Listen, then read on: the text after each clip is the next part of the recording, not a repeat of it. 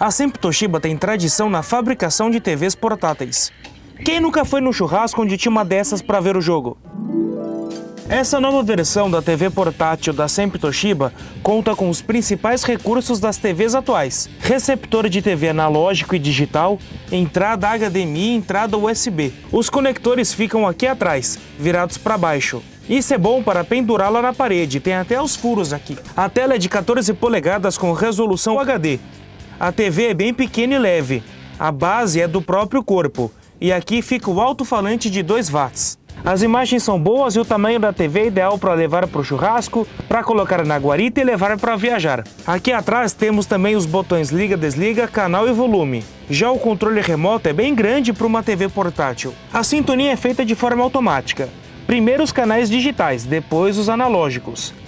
Se a anteninha interna não for o suficiente, dá para instalar uma antena externa. A TV sintoniza todos os canais digitais disponíveis, inclusive a versão OneSeg. O canal OneSeg tem a resolução menor, mas é ideal para funcionar em movimento. Ou seja, dá para ligar a TV no carro com esse adaptador aqui. Boa para usar em viagens e na perua escolar. A qualidade das imagens é muito boa, com cores vivas e brilhantes.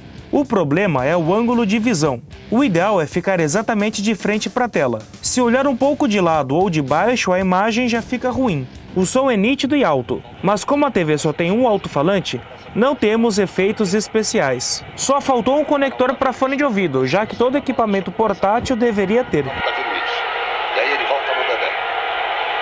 A entrada HDMI funciona como esperado, Dá para jogar videogame e ver filmes. A entrada USB reconhece arquivos de fotos, músicas e vídeos de diversos formatos, num pendrive ou num HD. Tivemos problemas apenas com vídeos MKV, que não reproduziram o áudio.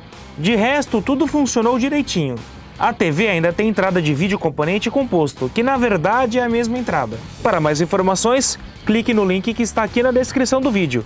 Se tiver alguma dúvida, deixe aqui nos comentários e siga a gente no Twitter. Valeu!